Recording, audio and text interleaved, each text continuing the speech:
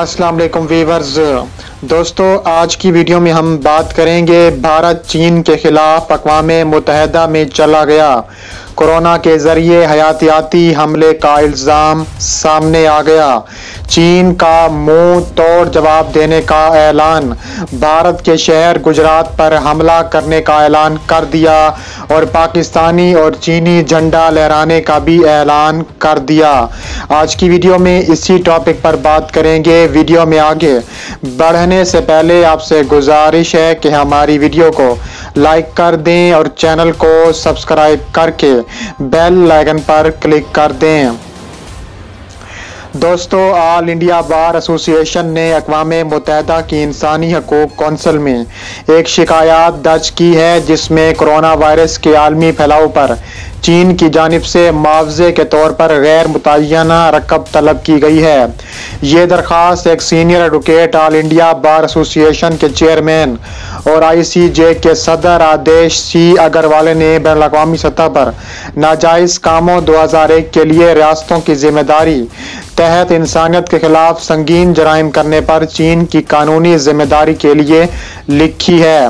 درخواست میں چین پر یہ وائرس پھیلانے میں عدم توجہی اور لاپرواہی کا الزام عائد کیا گیا تھا اور الزام لگایا گیا تھا کہ اس ملک نے بین الاقوامی صحت کے ضابطوں، آئی ایچ آر اور بین الاقوامی انسانی حقوق کے علاوہ، بین الاقوامی انسانی حقوق کے قوانین اور یو ڈی جی آر کی شکوں کے بھی خلاف ورزی کی ہے۔ بھارتی جریدے بزنس ٹوڈے کے مطابق ڈاکٹر اگروالا نے U N H C R کی عوام کی حکومت کی تحقیقات اور ہدایت کرنے کی اپیل کی ہے، جس میں کہا گیا ہے کہ جمہوریہ چین پوری دنیا میں بنی نو انسان کے لیے خطرہ ہے اور یہ بڑے پیمانے پر تباہی کے قابل حیاتیاتی ہتھیار کو خفیہ طور پر تیار کرنے اور غیر فعال ہونے کی وجہ سے ان ریاستوں کو ہونے والے سنگین جسمانی نفسیاتی معاشی اور معاشرتی نقصان کے لیے عالمی برادری اور ممبر ممالک کو خاص طور پر ہندوستان کو مناسب معاوضہ فراہم کرنا ہوگا۔ بین الاقوامی ذمہ داریوں کا احترام کرنے میں غفلت ہندوستانی معاشیت پر مولک وائرس کے اثرات کی نشاندہی کرتے ہوئے شکایت کنندہ کا کہنا ہے کہ ملک کی معاشی سرگرمی روک دی گئی ہے، جس کے نتیجے میں ملک کی مقامی معاشیت کے ساتھ ساتھ عام طور پر عالمی سطح پر بھی بہت بڑا دخل پڑتا ہے۔ معاشیت دائر درخواست کے مطابق کووڈ نائنٹین وبائی بیماری چینی حکومت کی ایک سازش تھی، جس کا مقصد خود کو دنیا کی ایک سپر پاور کے عہدے پر فائز کرنا اور حیاتیاتی جنگ کے ذریعے دوسرے ممالک کو مجروح کرنا تھا۔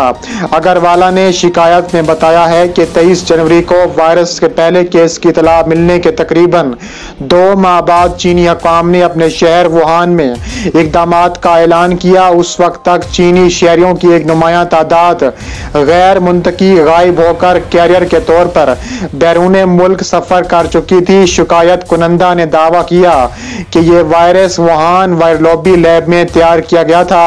انہوں نے مزید کہا کہ چین کی حکومت بھی متاثرہ افراد کے سفر کو پوری طرح سے آلودہ کرنے سے روکتی ہے۔ یہ ابھی تک معمہ نہیں ہے کہ کس طرح چین کے تمام صوبوں میں یہ وائرس نہیں پھیل سکا، بلکہ ایک ہی وقت میں یہ دنیا کے تمام ممالک میں پھیل گیا۔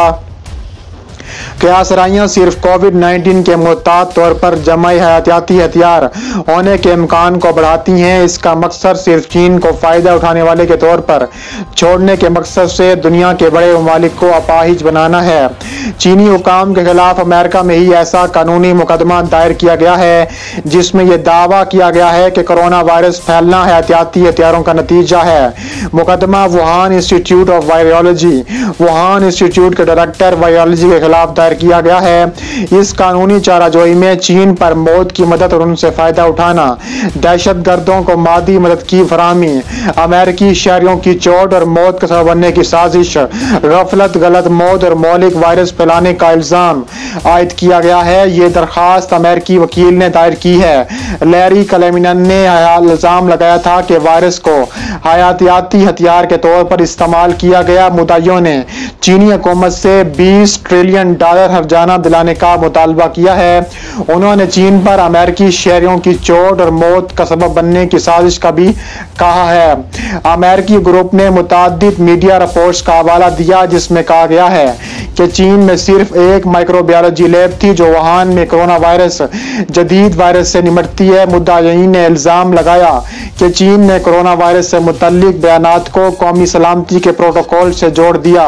کلیمین اور مدعی نے یہ الزام لگایا کہ چینی ڈاکٹروں اور محققین جنہوں نے کرونا وائرس کے بارے میں بات کی تھی اور بین الاقوامی سطح پر بیرونی دنیا کے لیے خطرے کی گھنٹی بلند کی تھی، ان کو خاموش کر دیا گیا۔ انہوں نے یہ الزام لگایا کہ تمام ملزمان مل کر بین الاقوامی دہشت گردی کو برقرار رکھنے کے لیے کام کر رہے ہیں۔ قانونی چارہ جوئی میں کہا گیا ہے کہ اگرچہ کرونا وائرس کی ایک ملک کی فوج کے خلاف استعمال ہونے کے لیے سست روی کا مظاہرہ کرنے اور آہستہ آہستہ پھیل رہا ہے، یہ چین کی ایک سے زیادہ دشمن ممالک جیسے عام امریکہ کی آبادی کے خلاف استعمال کیا گیا ہے۔ امریکی مدعیوں نے چینی مدعا ایران کے خلاف جیوری ٹرائل کا مطالبہ کیا۔ اگر بھارت اور چین کے درمیان جنگ چھیڑ گئی تو غالب امکان ہے کہ یہ جوری صورت اختیار کر سکتی ہے۔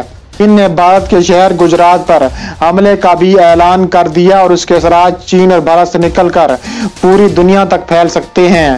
دونوں ممالک کے بیچ جنگ ممکنہ طور پر ایشیا اور دنیا کی سب سے بڑی اور سب سے تباہ کن جنگوں میں ثابت ہوگی، لیکن چین اب بھارت سے بدلہ لینا چاہتا ہے، جو بھارت نے چین پر الزامات کی بوچھاڑ کی ہے۔ چین کی فوجیں بھارتی بارڈر پر پہنچ چکی ہیں۔ اروناچل پردیش سے لے کر دہلی تک تمام قبضہ چین کر لے گا۔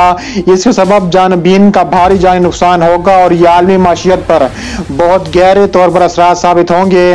تاہم، جغرافیہ اور آبادیاتی تناسب شاید اس جنگ میں منفرد کردار ادا کرے۔ بھارت اور چین کی سرحدیں دو مقامات پر ملتی ہیں اور ان دونوں جگہوں پر علاقائی تنازعات پائے جاتے ہیں۔ اکتوبر انیس سو باسٹھ میں چین نے مذکورہ دونوں محاذوں پر حملہ کر دیا تھا۔ اس کے نتیجے میں شروع ہونے والی جنگ ایک ماہ تک جاری رہی اور پھر زمینی طور پر چین کے لیے بعض سادہ سے فائد کے ساتھ اقتدام پذیر ہوئی۔ فریقین میں سے کسی بھی جانب سے جوری ہتھیاروں کے استعمال کے بغیر جنگ شروع کرنے کی پالیسی جوری جنگ چھڑنے کو بڑی حد تک خارج امکان بنا دے گی۔ دونوں ملکوں میں بہت بڑی آباد بستی ہے، جن میں ہر ملک میں ایک اشاریہ تین ارب سے زیادہ نفوس موجود ہیں۔ تمام جدید جنگوں کی طرح بھارت اور چین کے درمیان کوئی بھی جنگ زمینی بحری اور فضائی ذرائع سے لڑی جائے گی۔ اس حوالے سے فضائی کاروں پر مرکزی طور سے توجہ مرکوز ہوگی، جن میں لڑاکا تیاروں اور میزائلوں کا استعمال کیا جا سکتا ہے۔ چین نے کہا ہے کہ اگر بھارت نے اپنے الزامات واپس نہ لیے تو گجرات کے ساتھ ساتھ چین کے تو گجرات کے ساتھ ساتھ بھارت کے مختلف علاقوں پر قبضہ کر لیں گے۔ انہوں نے مزید کہا کہ بھارت اپنی حدود کراس کر رہا ہے۔ بھارت پہلے بھی اسی طرح کے چین پر الزام عائد کر چکا ہے۔ امریکی جریدے کے مطابق، چین اپنی فضائی قدرت کو بیلسٹک میزائلوں سے پورا کرتا ہے۔ خواہ وہ جوری ہوں یا پھر روایتی میزائل ہوں، انسان اس تباہی کا تصور کر سکتا ہے جو D F eleven, D F fifteen اور ڈی ٹوینٹی ون ساخ کے مختصر اور درمیانی مار کے دو ہزار میزائل بھارت کے ٹکانوں پر پہنچ کر بھارت میں مکمل طور پر بھارت کا صفایا کر سکتے ہیں۔ ان میزائلوں کو بھارت کی سرزمین پر تضاویاتی اہداف کو نشانہ بنانے کے واسطے استعمال کیا جا سکتا ہے۔ البتہ اس بات کو نظر انداز نہیں کیا جا سکتا کہ فضا میں اڑن بھرنے کا مرلہ آیا تو بھارتی فضائیہ مسابقت میں چینی فضائیہ سے بہتر پوزیشن میں ہوگی۔ اگرچہ یہ جنگ چین کے کم آباد سرحد پر چھڑے گی۔ تاہم، نئی دہلی، تبت کی سرحد سے صرف دو سو تیرہ میل کی دوری پر ہے۔ بھارتی فضائیہ کے لڑاکا تیاروں میں صرف چھوٹے چھوٹے ہتھیار شامل ہیں۔ بھارت چین کا مقابلہ نہیں کر سکتا۔ چین نے کہا ہے کہ اگر بھارت نے اگلے دو دن میں معافی نہ مانگی تو چین بھارت پر خطرناک حملہ کر سکتا ہے۔ چین نے اپنے مختلف علاقہ تیارے بارڈر پر پہنچا دیے ہیں، جس میں جے ٹوینٹی جے ٹین شامل ہیں۔